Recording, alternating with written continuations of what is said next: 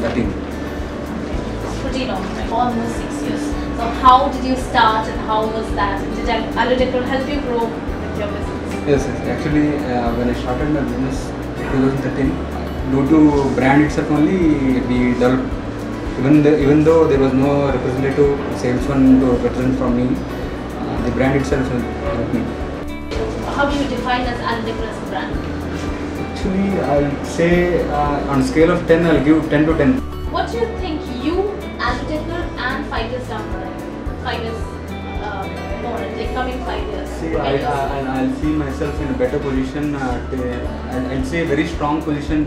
Commendably, I'll, I'll, uh, I can confidently sell products from.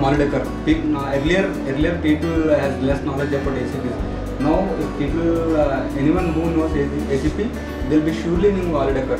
More people are uh, very used to Aludecor right now. I mean, it's not for uh, name fitting. It's really, really. Actually, my place is uh, very limited uh, resources.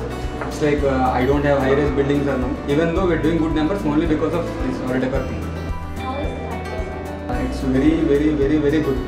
I never expected this much. What do you think about hashtag Bring the Fire Revolution that we saw? It will surely do. It will surely uh, uh, start revolution very, very soon. And uh, even having fire, uh, fire and 3mm is very good.